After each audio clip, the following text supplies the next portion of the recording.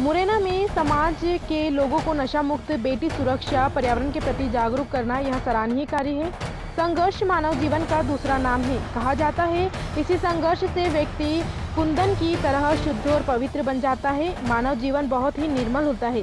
किसी विद्वान ने सही कहा है कि मदिरा पान सब बुराइयों की जड़ होती है। मदिरा मनुष्य को असंतुलित बनाती है। इसीलिए हमारे शस्त्रों में मदिरा पान को पान माना जाता है और नशे की लत से बड़े से बड़े परिवार उजड़ जाते हैं। आज समाज को जागरूक करने के लिए अखिल भारतीय ब्राह्मण महासभा के राष्ट्रीय अध्यक्ष पंडित राजेंद्र त्रिपाठी मध्य प्रदेश इकाई की प्रदेश अध्यक्ष पंडित के डी सोनकिया के निर्देशानुसार जन चेतना जागरूकता साइकिल रैली पूरे प्रदेश में निकाली जा रही है।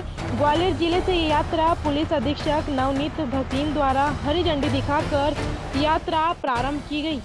वॉइस ऑफ़ एमपी के लिए मुरैना से संवाददाता गौरव बोर्ड की रिपोर्ट।